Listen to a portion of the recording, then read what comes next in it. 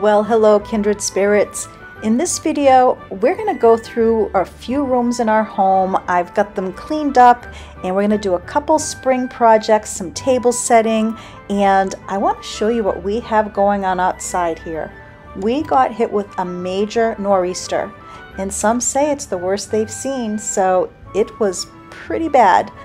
Luckily today, we've already lost about a foot due to melting, but there's still a lot to go.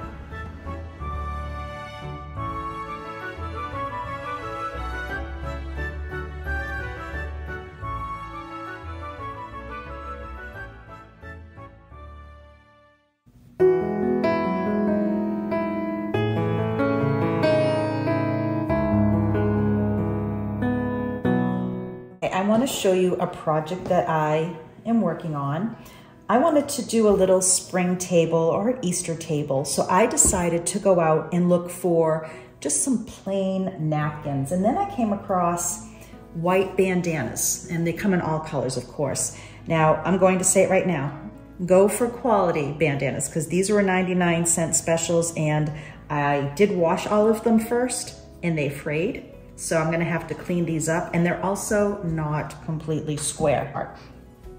But what I did is I was first looking for fabric ink to stamp and I didn't find any at the stores I went to, but I did try this and it says waterproof. So I purchased that. I ended up using this rubber stamp of this cute little bunny and I tried it several ways, also with ink markers.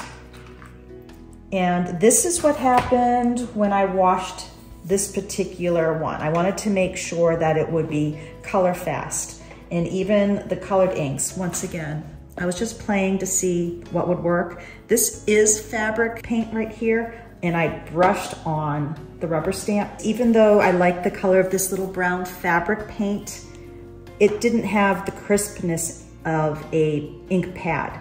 So this comes in many colors. I know I can get more, but you could also find the fabric ink pads that I've been told are out and about, just not the stores. So I'm just gonna show you how I did this. And then a little bit later, we'll use it in a table setting. I'm going to let you know right now, I don't like how they came out on these particular bandanas. I think it's a great idea if you find quality cotton bandanas or of course quality cotton napkins, linen napkins. These were just definitely worth 99 cents. But going forward, I'm going to show you at least one napkin in a table setting, and then I'm going to show you some other table settings I did with the green and white check that you see there. And I just had some fun doing a table setting, moving a few things around with a lot of my thrifted finds. And this project is pretty self-explanatory. Rubber stamp, a good quality waterproof ink is what I went for pressed it down nice and hard on the fabric. Don't wiggle it around. You want a nice crisp line. I let it dry. I actually ended up adding the little pink nose to the bunny with the pen and these did wash up well. So for this place setting, I just pulled out one of the napkins to show you and I tied a sweet little pink and white checkered bow around my pewter napkin ring there. And then I'm using some Wedgwood plates. I think this is the Husk collection. It's a Williamsburg line. But the rest of the settings I'm going to show you are with this green and white check. And you're going to see that I'm going to add some layers. I'm going to change out the plates. I'm going to change out the centerpiece. And I just had some fun doing this for a spring or an Easter table setting. And this little ornament was gifted to me by Old World Christmas. I'm going to see if there's a link that I can give you, but they sent me three little bunnies and I put them here at the table setting.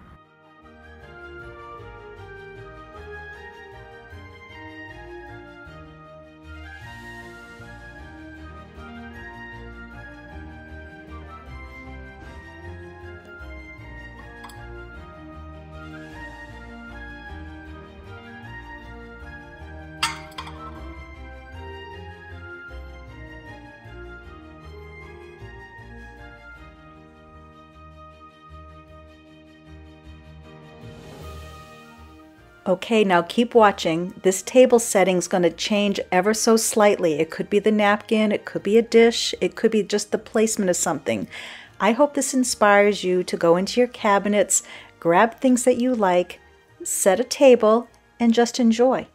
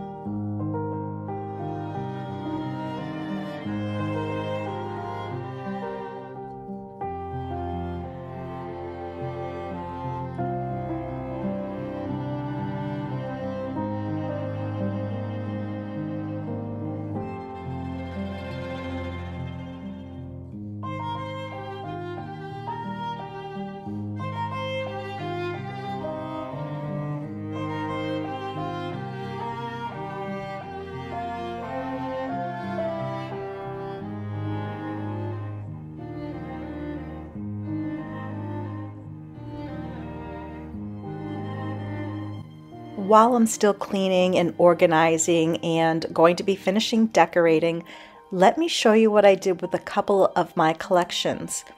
I put the flower frogs here in my corner cabinet just on top of a Lazy Susan for now. I'm not sure I'm going to do with those yet.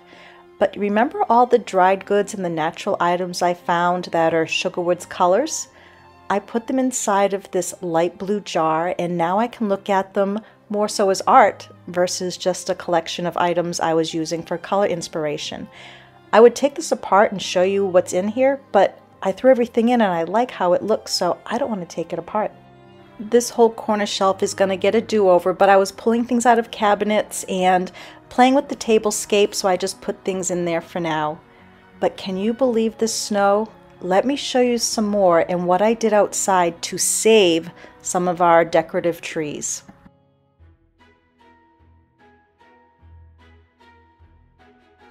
I'm getting ready to go outside and try to save a few trees that look like they're ready to snap. I've got a broom here. Oops, less focus. I have my broom here and we're going for it. I'm not going to be able to film this because I know I'm gonna need two hands. We're expecting about 28 inches of snow. I don't know what's out there right now, but we've got to do this in stages. Well, this stuff is heavy. No wonder the power's out. And oh gosh, I'm gonna be, I don't know how many trees I'll be able to save. I can already see a snap in this hydrangea.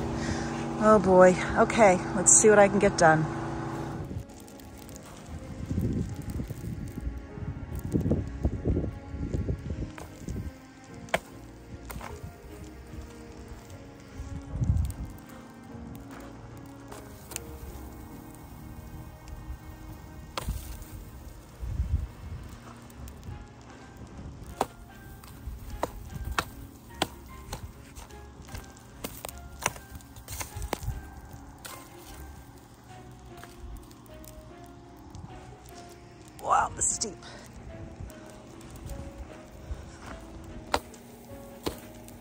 Well, that's not good.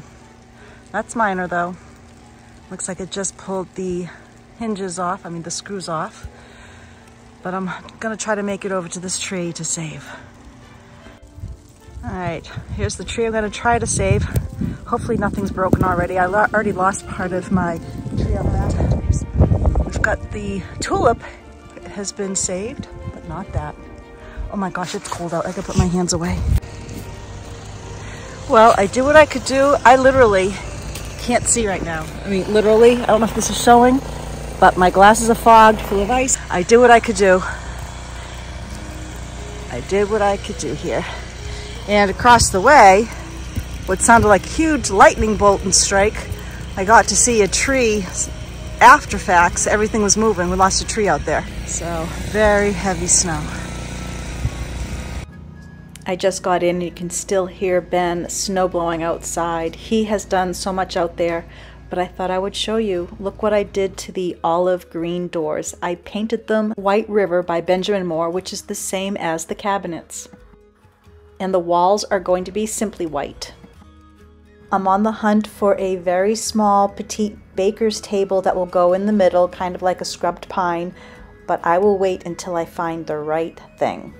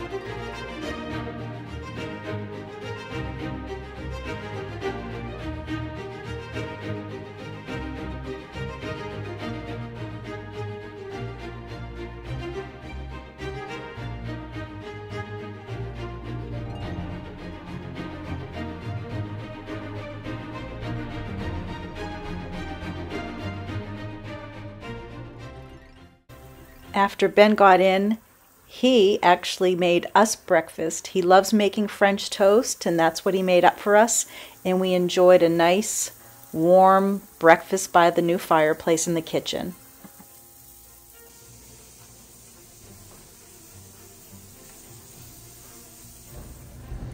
We're sitting in the kitchen right now enjoying a breakfast that Ben just made and already lost one tree across the street in the neighbor's property.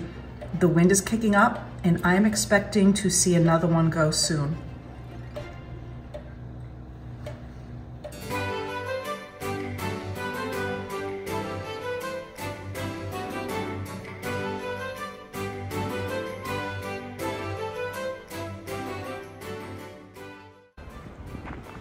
Well, I am outside right now. First time I'm viewing it from this angle. I feel so bad for Ben, but what a trooper. He came out and he was scraping off the roof just to help us prevent uh, ice dams. And I'm looking in the backyard there and I can absolutely see that I have lost my Siberian iris, I mean my Siberian, Siberian crabapple tree. I can see a break and everything is bent over. That was a beautiful tree with all kinds of winding trunks. What a shame. And then down here, we lost another large tree and I can see down the road there's some trees down on the wires so I'm not going to go that far down. Oh boy. That's one thing about these March snowstorms. Everything's wet and really heavy. But we're going to have a lot of cleanup here at Sugarwood this spring. This tree, though, was huge that broke. I'll be decorating this area just a little bit for Easter, but I wanted to show you something. I walked in here the other day and found this bunny backwards. Now, of course, I just showed the ghost story video, and one would think that was a ghost doing it.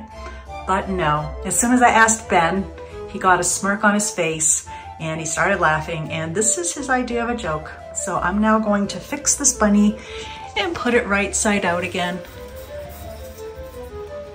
There we go. I think those are sweet. I got those at a store, Robin's Egg in Amherst.